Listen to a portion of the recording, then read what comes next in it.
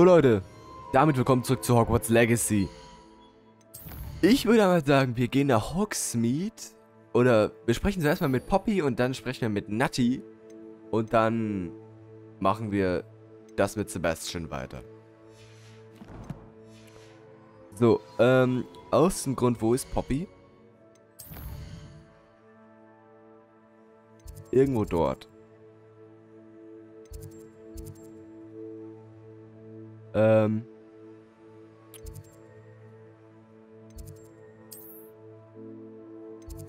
Einmal bitte reisen. So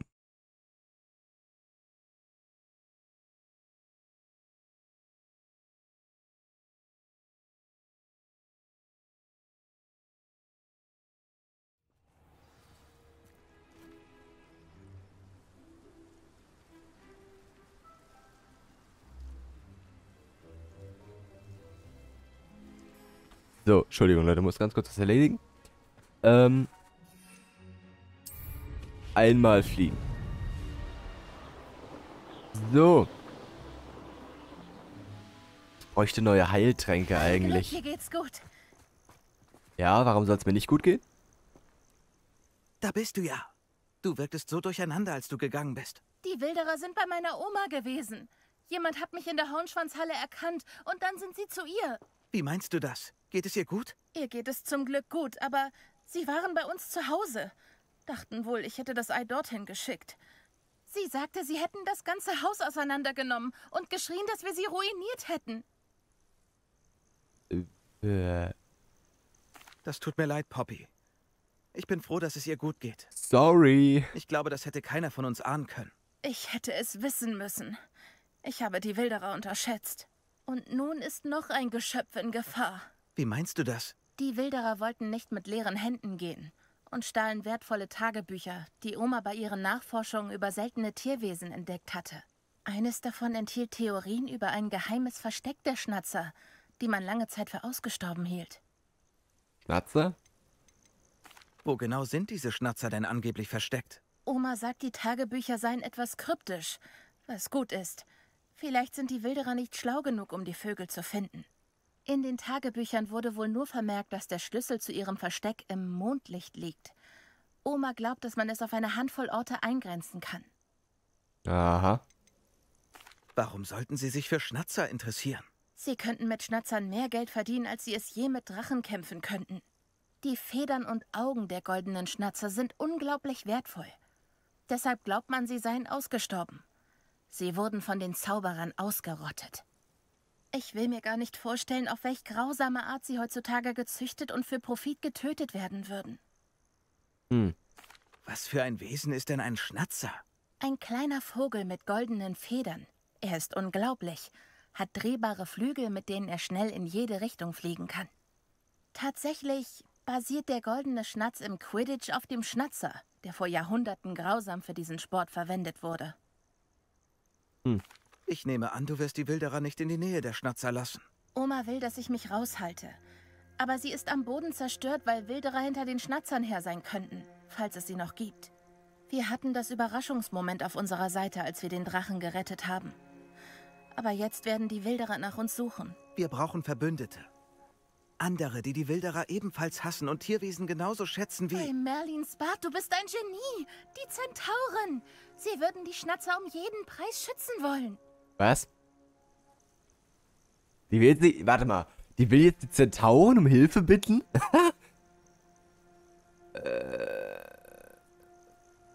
äh. Ach, probieren wir's. Klingt so, als müssten wir mit den Zentauren reden. Wir müssen aufpassen, wie wir uns ihnen nähern. Das Verhältnis ist immerhin angespannt. Trotzdem könnten sie unsere einzige Hoffnung sein.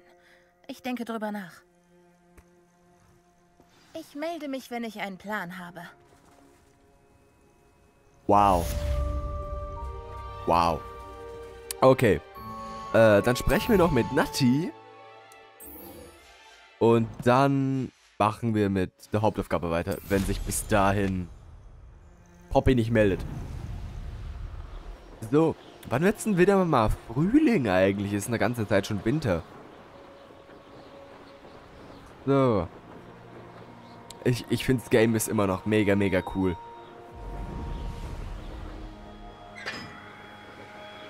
So, vor Hogsmeade.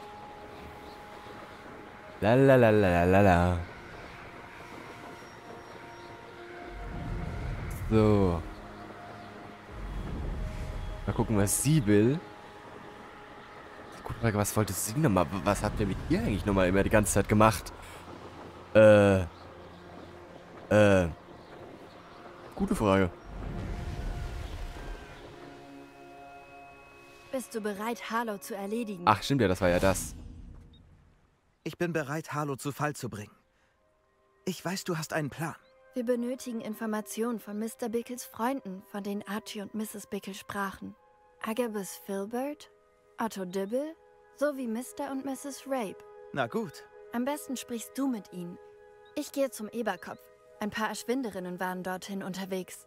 Und da meine Mutter nie in die Nähe des Eberkopfs gehen würde, erfährt sie so weniger von meinen Aktivitäten, als wenn ich durchs Dorf streife und die Bewohner befrage. Verständlich. Wo kann ich seine Freunde finden? Bei Mr. Rape bin ich nicht sicher, aber seine Frau Daisy ist oft in Hogsmeade, genau wie Agabus Filbert. Und Otto Dibble arbeitet bei Besenknechts, also findest du ihn vermutlich dort. Welche Informationen brauche ich von diesen Leuten? Sie wissen vielleicht, welche Beweise Mr. Bickle gegen Harlow hatte. Oder vielleicht haben Sie selbst Beweise. Wir müssen herausfinden, was genau Sie wissen.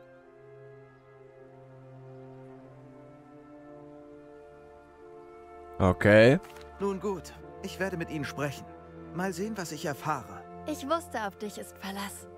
Wir müssen wissen, wie genau Sie von Rookwood und Harlow erpresst werden. Wir treffen uns hier, wenn du sie gesprochen hast. Mhm. Bis du wieder zurückkommst, kann ich mich hoffentlich etwas freier bewegen. Dann sprechen wir ganz kurz mit denen, weil das interessiert mich doch schon sehr.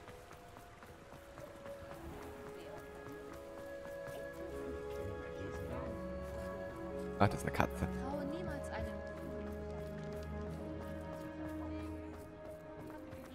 Okay, fangen wir hier an.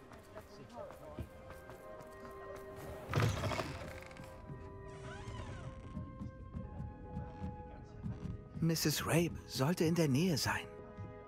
Ja.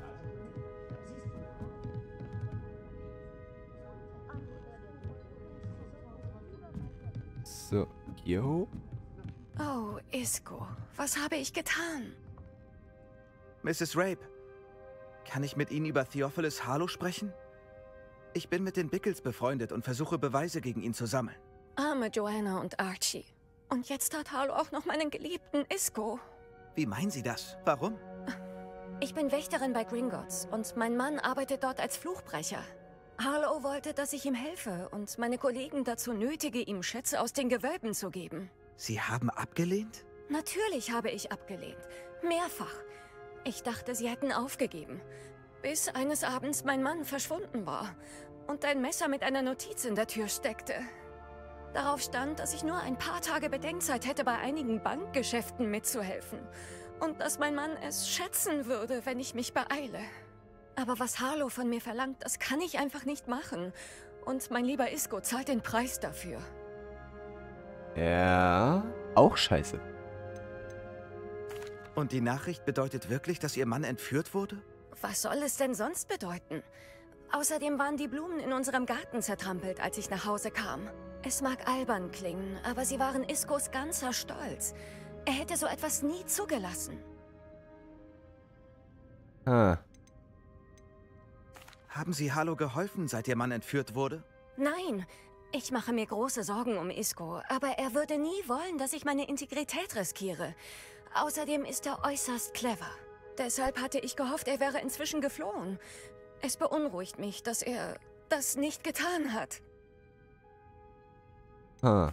Warum erpresst Harlow nicht Ihren Mann? Iskos Arbeit hat kaum etwas mit den Gewölben zu tun. Er reist für die Bank um die Welt. Er könnte nichts für Harlow tun. Ich dagegen bin täglich in der Bank, was mich offenbar zum perfekten Ziel für Erpressungen macht. Hm. Vielen Dank, Mrs. Rape. Zu wissen, wie weit Harlow gehen wird, ist hilfreich, wenn auch mehr als beunruhigend. Mr. Bickle wollte uns helfen, doch jetzt ist er weg. Was soll ich denn nur tun? Ich tue, was ich kann, um Beweise gegen Harlow zu sammeln, Mrs. Rape. Also gut. Hier ist die Notiz, die ich bekam. Seien Sie bitte vorsichtig und bringen Sie sich nicht in Gefahr. Mhm. Mrs. Rabe, äh, wir hoffen, dass Sie noch einmal über unsere Bitte nachgedacht haben.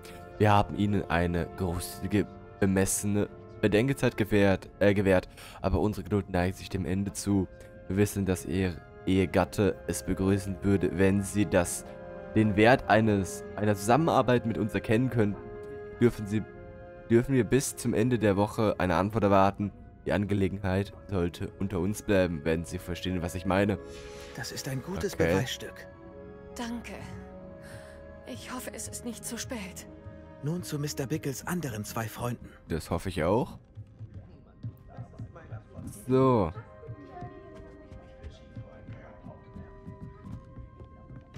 Mal gucken, was die anderen beiden so sagen. Eine ist da hinten. Otto Dibble arbeitet bei Besenknechts. Da muss ich hin. Ich, hoffe, er hat es nicht genommen. Vielleicht weiß ich... Mr. Dibble, kann ich Sie sprechen? Es geht um Theophilus Harlow. Über ihn habe ich nichts zu sagen. Kann ich Sie für ein herrliches Halstuch begeistern? Bitte, Sir. Ich möchte helfen. Ich habe mit Mrs. Bickle gesprochen. Äh, Sie kennen die Bickles? Na gut, aber wir müssen diskret sein. Mr. Hill darf das nicht hören. Ich kenne Mr. Hill. Er war am Tag des Trollangriffs nett zu mir. Er ist ein guter Mann, aber er würde das mit Harlow nicht verstehen. Es begann vor ein paar Wochen. Ich war mit einer Notiz beschäftigt, als, Sie wissen schon wer, den Laden betrat.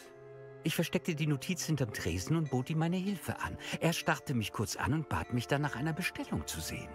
Ich ging ins Lager, um nachzusehen, doch die Bestellung existierte gar nicht. Als ich zurückkam, hatte er die Notiz in der Hand. Was stand in der Notiz? Sie war von Rosie Hill, Mr. Hills Tochter. Wissen Sie, wir sind nämlich, nun ja, seit sechs Monaten heimlich verlobt. Wir haben es Mr. Hill noch nicht gesagt. Er erhofft sich mehr für seine Tochter. Harlow wies mich nachdrücklich darauf hin, dass meine Beziehung zu Rosie sowie meine Anstellung hier von meiner Kooperationsbereitschaft abhinge. Um was hat er Sie gebeten? Es ging alles so schnell. In Windeseile nahm er einen sehr teuren Schal vom Tresen, steckte ihn ein und lächelte. Er sagte, meine Lippen sind versiegelt, solange ich meine Freundin ab und zu mit solchen Kostbarkeiten versorgen kann. Bisher konnte ich seine Anfragen immer mit ein wenig kreativer Buchführung ausgleichen. Aber ich kann nicht ewig so weitermachen. Ich habe schreckliche Angst. Ohne Rosie könnte ich nicht leben. Hm. Ich traf Mr. Hill am Tag des Trollangriffs. Er war nett zu mir. Sagen Sie es ihm doch einfach. Er ist ein netter Mann, aber wenn es um Rosie geht, macht er dicht. Er würde das als schweren Verrat ansehen. Ich würde sofort meine Arbeit verlieren und Rosie dazu. Hm.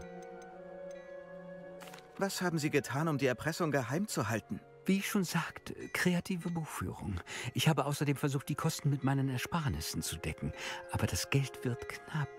Das zeugt natürlich nicht gerade von der Verbesserung meiner Lebensumstände, um Rosie würdig zu sein. Könnten Sie mir mehr über die Nachricht erzählen?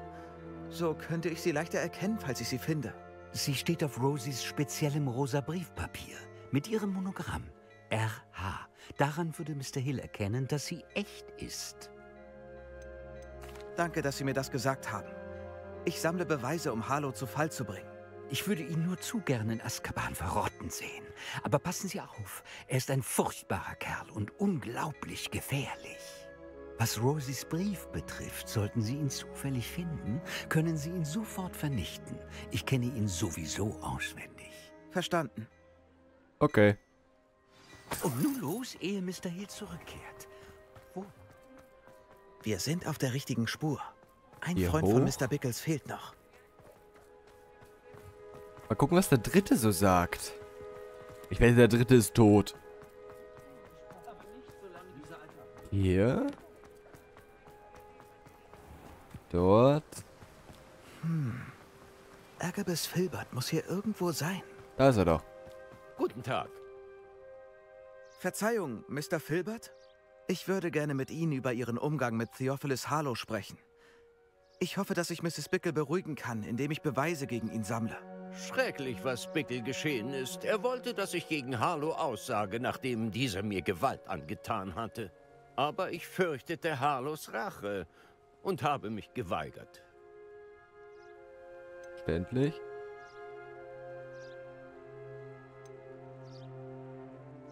Sie hätten vielleicht Mr. Bickles Schicksal geteilt, wenn Sie gegen Harlow ausgesagt hätten.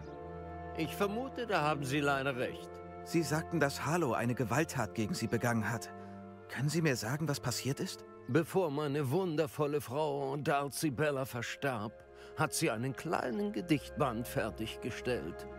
Als Überraschung zu ihrem Geburtstag, den sie nie feiern konnte, ließ ich das Buch binden und mit echtem Gold verzieren. Eines Tages kam Harlow zu mir.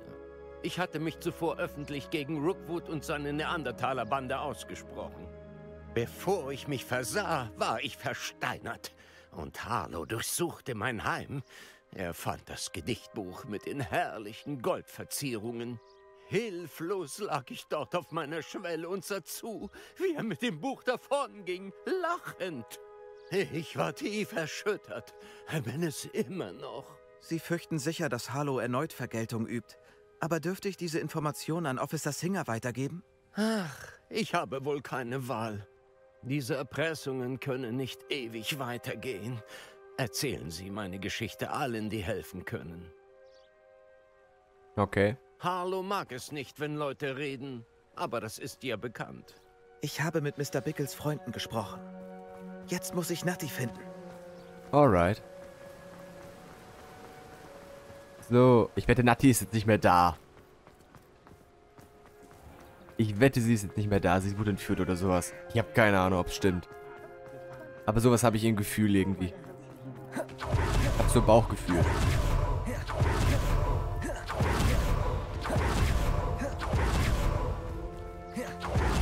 Ist sonst nie zu spät. Sie wollte in den Eberkopf. Vielleicht ist sie ja dort.